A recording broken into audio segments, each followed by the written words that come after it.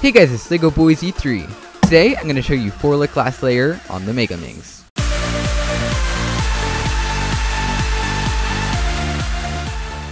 So basically what 4-Look Last Layer is, is it's an intermediate method of doing the last layer on the Megaminx, and it requires four steps. The first one is EO, or Edge Orientation, where you orient all of the edges, like this.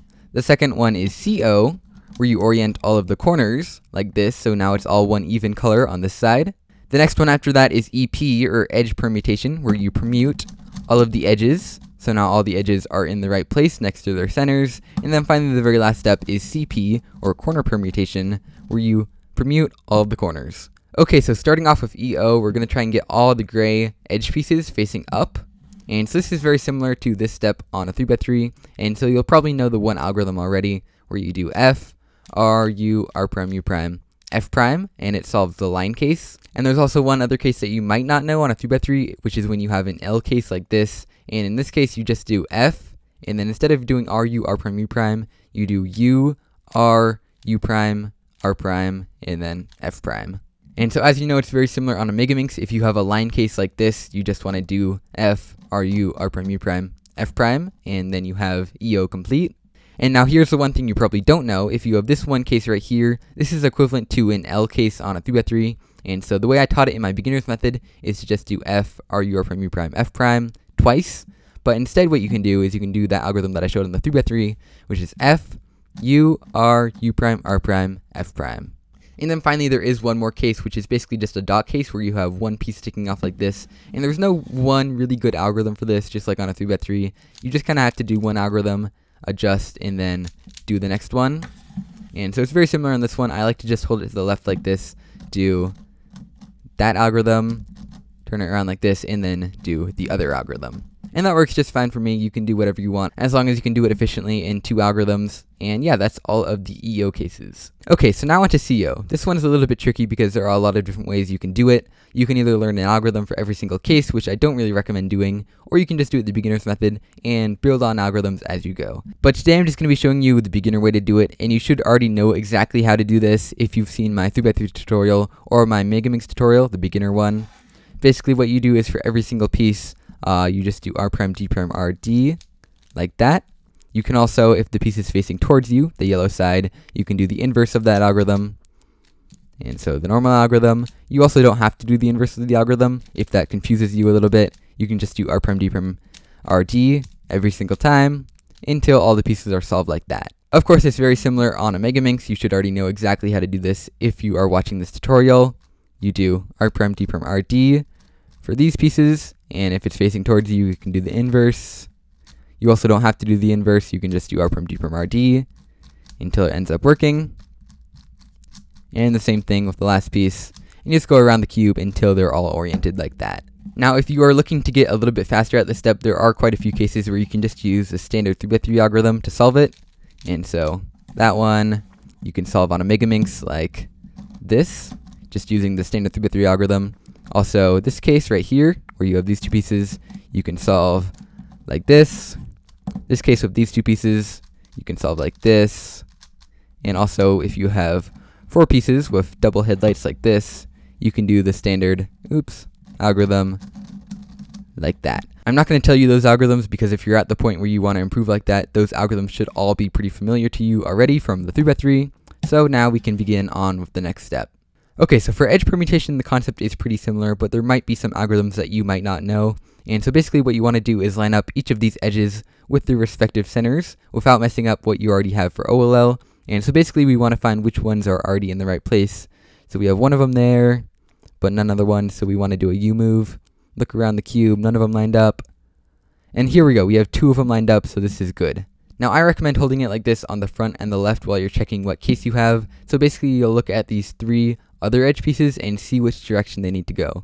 And so in this case, they need to rotate clockwise. And basically the way that I check that is I look at the piece in the back right here, and I see if it needs to move over to this. And so green's right here, and it does need to move over to green. So we have the first case, which is the clockwise case. And so this case is exactly a J-perm. So on a 3x3, basically just this algorithm. You'll probably know this already, but if you don't, it is R, U, R prime, F prime, R, U, R prime, U prime, R prime, F, R2, U prime, R prime. And there we go, now EP is correct. And so now, in the case that you have the same case where you have two of them adjacent, but these pieces do not need to go clockwise, so you look at this piece and it does not need to go over here, that means it needs to go counterclockwise, and so this case is just a Y perm. And so this is a Y perm on a 3x3, and so what you need to do is rotate the cube like this, so the piece will now be in the front and the right, the solved ones,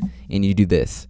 F, R, U prime, R prime, U prime, R, U, R prime, F prime, R, U, R prime, U prime, R prime, F, R, F prime. And there we go, now EP is also complete. Okay, so here's where the new algorithms come in. So we're checking our case, we have one there, keep turning.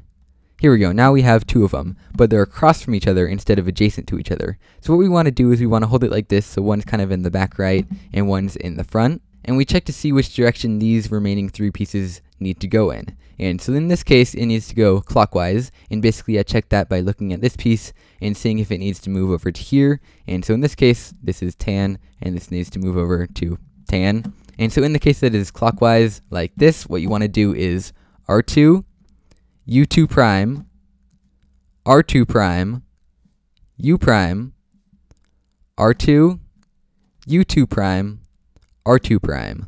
And so basically an easy way to remember that is all the U moves, so you have the U2 prime, the U prime, and the U2 prime are all counterclockwise moves. And so if the pieces need to move clockwise, you do all counterclockwise U moves.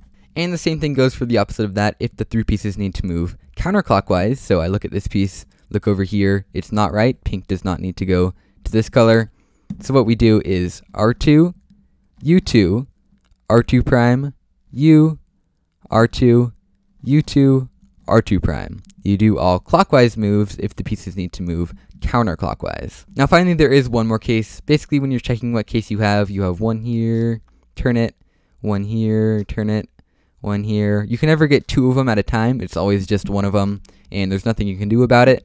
And so basically what you want to do is just do any algorithm that I just showed you. So I'll just do the JPerm.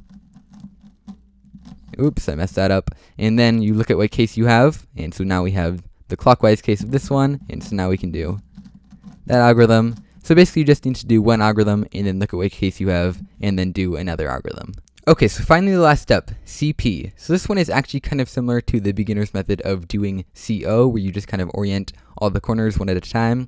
But instead of doing R prime, D prime, RD over and over again until you get the piece oriented, you just do it once. And so you do R prime, D prime, R.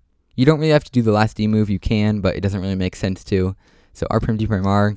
But first we're going to look at what piece we have right there. So it should be an unsolved one. So we have orange and green.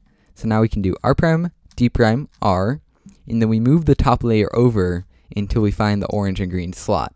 And so here's the orange and green slot. We want to put that piece that we just picked up into its correct spot. And so what we want to do is the inverse of those three moves. So you kind of want to alternate doing the normal moves and then the inverse. And so the inverse of that is R prime D R. And there we go. Now that piece is in the right spot.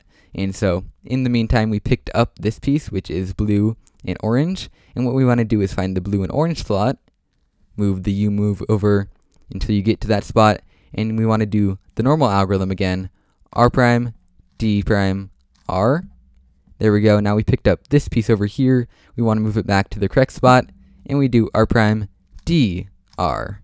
Now I realize that was probably really confusing for some of you guys who have never done this before, so I'm just going to do it again. And so basically we'll start off with this piece. It is this tan color and blue. We do R prime, D prime, R.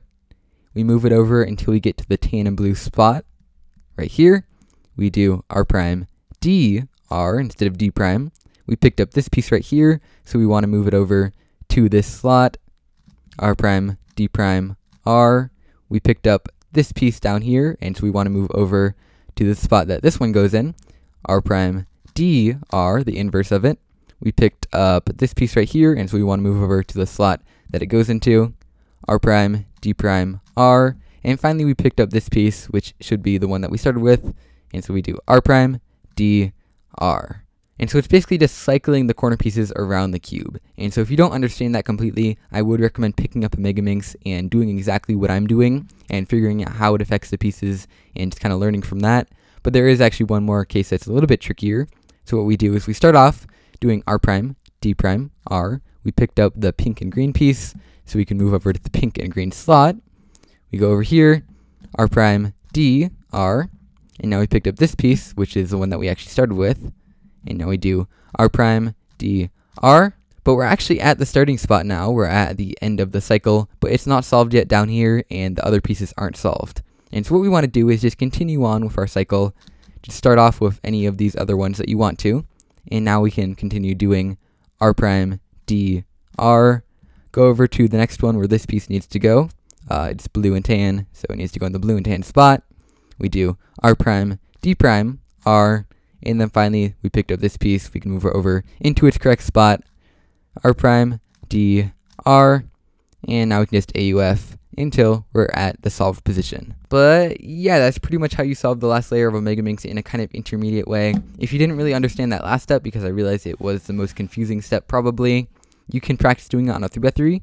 And so you have this piece here, R prime D prime R, this one right here, R prime D, R, this piece right here, R prime, D prime, R, and then back over to this piece like that. You can practice doing that on a 3x3. Basically, just walk through with what I did and try and recreate that on your Megaminx and figure out how it works if you don't really understand it. And if there's anything else that you need help with, with anything that I showed in this tutorial, go ahead and leave a comment down below and I'll be sure to get back to you. And I'll see you guys next time.